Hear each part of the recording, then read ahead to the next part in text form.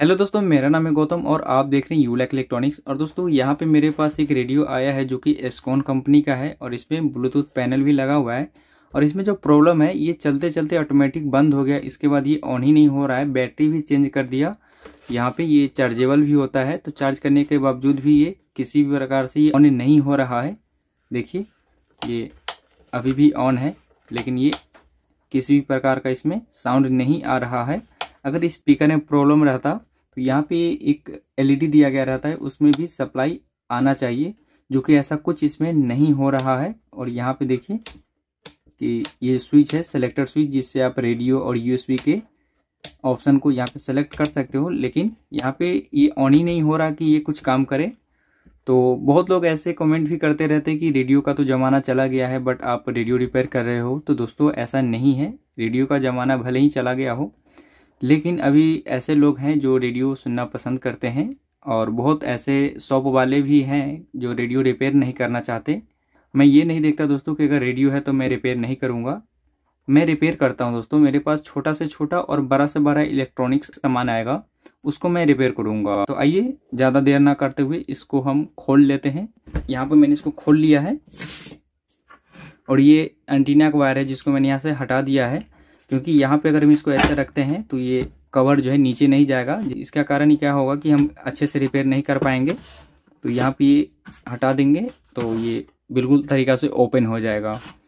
और इसमें जो बैटरी लगा हुआ है, हमें उसको चेक करना है कि ये चार्ज है कि नहीं है।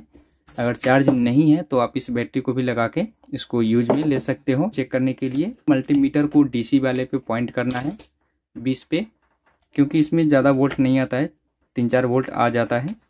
और यहाँ पे जो बैटरी लगा हुआ है, उसको हम चेक करेंगे। तो ये लगभग चार वोल्ट चार्ज है। ये चार वोल्ट आ रहा है। और यहाँ पे जो ये दो टर्मिनल होते हैं बैटरी का, उसको भी मैं चेक कर लेता हूँ।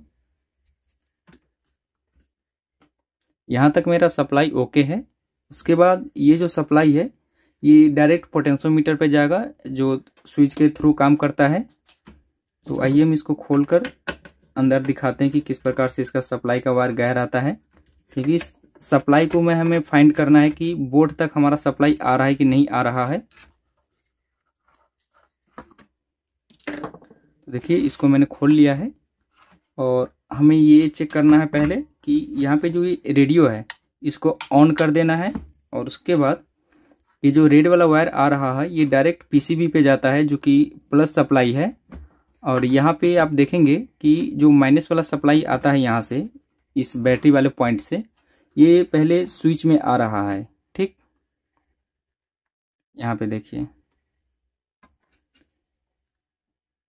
यहाँ पे सप्लाई आ रहा है और यहाँ पे नहीं आ रहा है। तो देखिए, ये जो सप्लाई यहाँ पे आता है इस स्विच पे तो इसका एक और टर्मिनल होता है जो यहाँ पे बोल्ट शो नहीं कर रहा है। इससे पहले कर रहा है, लेकिन यहाँ पे ये नहीं कर रहा है। मैं आपको पास में लाकर दिखा देता हूँ। देखिए दोस्तों, यहाँ पे ये जो हमारा स्विच होता है, इसमें दो टर्मिनल होते हैं इसके टॉप पे। ये एक्चुअली स्विच होता है।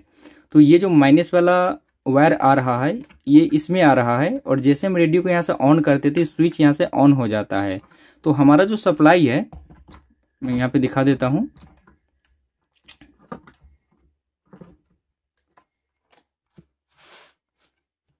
ये जो सप्लाई है, सिर्फ़ इसी पॉइंट पे आ रहा है।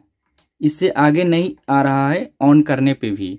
तो यहाँ पे जो हमारा स्विच है, ये हो सकता है ख़राब हो तो इसको हम किस प्रकार से चेक करेंगे? तो सिंपली आपको एक चिमटी लेना है और इसको आपस में शॉर्ट कर देना है। तो देखिए, ये स्विच जो हमारा इस वॉल्यूम में होता है, ये खराब है।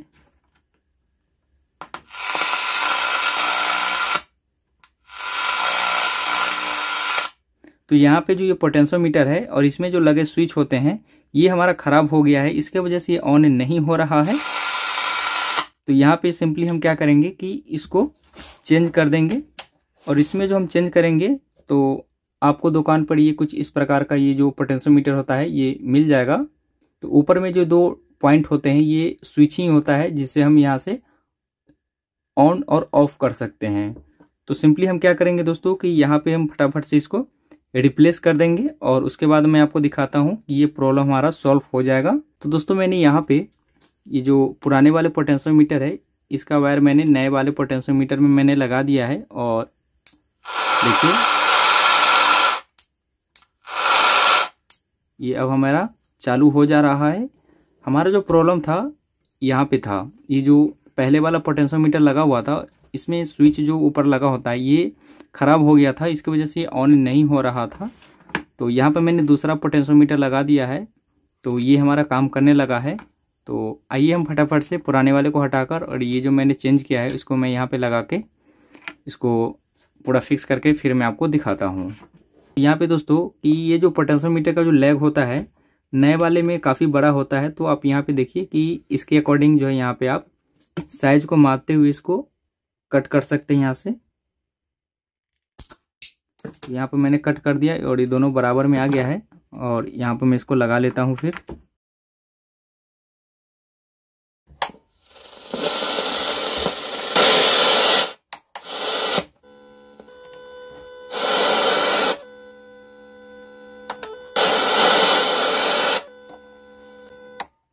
तो दोस्तों, यहाँ पे आपने देखा कि ये जो हमारा रेडियो है, बिल्कुल तरीका से और ये जो हमारा रेडियो है वर्क करने लगा है तो इस प्रकार से दोस्तों, अगर आपके पास भी रेडियो है, अगर इस प्रकार का प्रॉब्लम आ रहा है तो आप स्टेप बाय स्टेप इसको रिपेयर कर सकते हो, जिस प्रकार से मैंने आपको रिपेयर करके दिखाया है।